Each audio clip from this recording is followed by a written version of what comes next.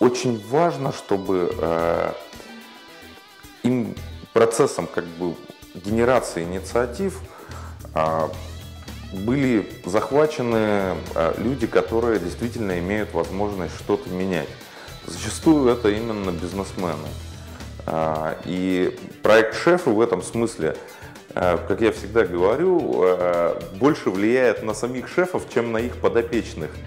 А, да, на самом деле, если мы э, даже вспомним священные писания, причем практически любые, возьмем мы Коран, возьмем мы Тору, возьмем мы Библию и так далее, везде говорится о том, что благотворительность – это то, что больше дает делающему благо, чем его принимающему. Вот этот вот, скажем так, процесс включение себя, жертвование части своего времени, части своих средств на нужды города, на нужды каких-то, э, может быть, нуждающихся в помощи организаций, слоев населения и так далее, он гораздо сильнее меняет именно бизнес, чем, наверное, э, жизнь там, конкретных учреждений или граждан.